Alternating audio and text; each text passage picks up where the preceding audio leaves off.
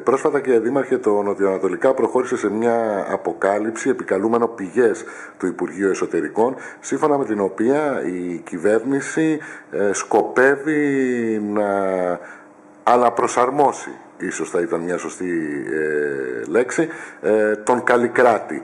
Να δημιουργήσει δηλαδή ένα νέο καλλικράτη ε, με βάση τις ανάγκες και τα προβλήματα που δημιουργήθηκαν από την εφαρμογή της μετεξέλιξης του νόμου Καποδίστρια, όπως ήταν ο αρχικός. Ανάμεσα σε αυτά λοιπόν τα οποία λέγονται, διαρρέονται αν θέλετε, είναι και το ενδεχόμενο να υπάρξει μια διαφοροποίηση για το Δήμο Μαρκόπουλου με την έννοια ότι μιλάμε για δύο μεγάλους αστικούς πόλους, αυτόν του Μαρκόπουλου και αυτόν του Πορτοράφτη, οι οποίοι μπορεί να λειτουργήσουν ως ε, μόνες ενότητες, δηλαδή να υπάρξει ένας Δήμος Μαρκόπουλου και ένας Δήμος Πορτοράφτη. Βέβαια, επαναλαμβάνω ότι όλα αυτά είναι διαρροές, δεν υπάρχει ακόμη κάτι το οποίο να είναι οριστικό και σίγουρα έχει μεγάλη σημασία η άποψη του ε, Δημάρχου ε, του ενιαίου Δήμου Μαρκόπουλου Πορτοράφτη. Ε, πρέπει να σας πω ότι εγώ το διάβασα και δεν το λέω για να ευλογήσω τα γένια σας, αλλά πραγματικά είναι έγκυρη πληροφορία. Το διάβασα και εγώ στη σχετική ανάρτηση που κάνατε στο site ε, των Νοτιοανατολικών.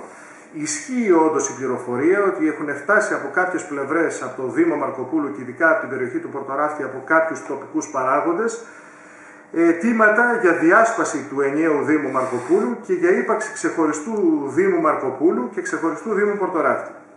Πρέπει να πω ότι ως Δημοτική Αρχή σε αυτή τη λογική είμαστε τελείως αντίθετοι. Κάνουμε ένα τεράστιο αγώνα τα τελευταία χρόνια να δημιουργήσουμε μια ενιαία συνείδηση σε όλους τους δημότες στο Μαρκόπουλο και στο Πορτοράφτη.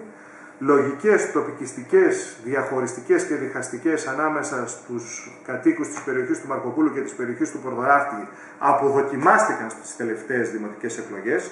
Είδατε ότι η παράταξη που στήριζε μια τέτοια διχαστική τοπική λογική έχασε το 25% της δύναμής της, μιλάω για τη δύναμη ελπίδας με επικεφαλής στον κύριο Αδάμο, και επιβραβεύτηκαν όλοι οι άλλοι συνδυασμοί.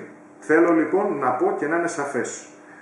Να το πω λίγο απόλυτα και χοντροκομμένα και ας μου συγχωρεθεί το παράδειγμα πώς το είχε πει δεν το θαυμάζω ούτε κατά διάνοια αλλά να το πω έτσι χοντρά όπως ακριβώς είχε πει τότε στον ε, κύριο Υπουργό των Οικονομικών, το Forget It Γιάννης, σε ένα σχετικό αίτημα ο κύριος Σόιμπλε, θέλω να το πω χαριτολογώντας ότι δεν θα το συζητήσουμε καν αυτό το ζήτημα. Λογικές αναβίωσης τοπικών, διαχωριστικών και διχαστικών πρακτικών στον ενιαίο Δήμο Μαρκοπούλου που υπάρχει ως τέτοιος στα τελευταία τουλάχιστον 150 χρόνια δεν πρόκειται να τελεσφορήσουν. Αν χρειαστεί θα το φέρουμε και ως θέμα στο Δημοτικό Συμβούλιο να πάρουν όλοι δημόσια τις ευθύνες τους.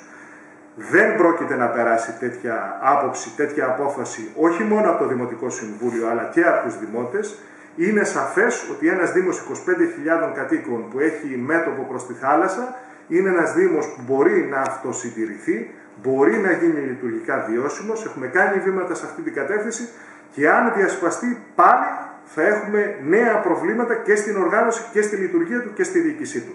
Σε καμία περίπτωση δεν πρόκειται να περάσει αυτό, το λέω πολύ σοβαρά, ούτε καν να το σκεφτούν, να το συζητήσουν.